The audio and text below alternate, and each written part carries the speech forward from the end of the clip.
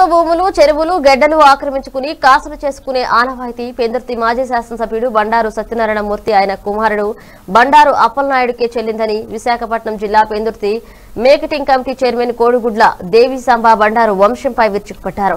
పెందుర్తి మండలం కనకవాడిపాలెం గ్రామంలో కొంత భూమిని వైఎస్ఆర్సీపీ నాయకులు బిరామీల పేరుతో ఆక్రమించుకుంటున్నారని బండారు అతని కుమారుడు పెందుర్తి శాసనసభ్యుడు అన్నంరెడ్డి అదీప్ రాజుపై నిందలు మోపడం సరికాదని అన్నారు. వైఎస్ఆర్సీపీ నాయకులు ఈ సందర్భంగా పెందుర్తిలో మీడియాతో సమావేశం ఏర్పాటు చేశారు. దానికి కర్త ఎవరు ఏంటంటే నియోజకవర్గంలో ఎవరు అడిగినా చెప్తారు. అది బండారప్పలాడు మాత్రమే తప్పుడు ప్రసారాలు చేసి సోషల్ మీడియాలో పెడతారు. దానివల్ల ఇప్పుడు మా గొరపల పంచాయతీలో మొన్న ఒక వీడియో పెట్టారు.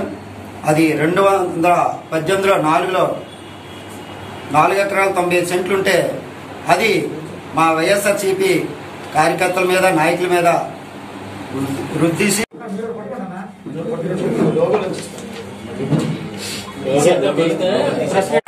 అందరికీ అన్ని సంక్షేమ ఫలాలు అందేటట్టు మనం పథకాలను ఇస్తుంటే అవి చూసి వారం లేక గ్రామాలు వెళ్ళలేక తుప్పలంట చేలంట పెండ్లంట తిరిగి ఇలాంటి కబ్జా డాక్యుమెంట్ తొంభై ఐదు సెంట్లు కూడా చేసింది మీరు.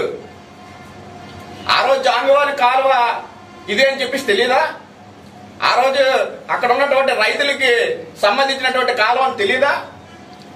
ఆ రోజు మీ ప్రభుత్వంలో మీరు మీరుండి మీరు దగ్గరుండి మీ కుమారుడి చేత చేపించి ఈ ఎఫ్ఎంబిని పుట్టించి ఆవేలు అమ్మించి ఎవరో దారిని పోయిన వాళ్ళు ఏమొచ్చి దాని గురించి వస్తానంటే అది మా మీదకే ఆపాదిస్తారండి కానీ ఈయనే మంట మంట ముట్టించడం ఈయనే ఆరిపోట్ యాక్టింగ్ చేస్తుంది కూడా ఈయనే.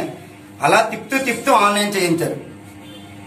పని చేస్తాను పని చేస్తాను మీకు ఎందుకు అని ఇప్పుడు కూడా పాప జనాలు ఆయన్నే నమ్ముతున్నారు.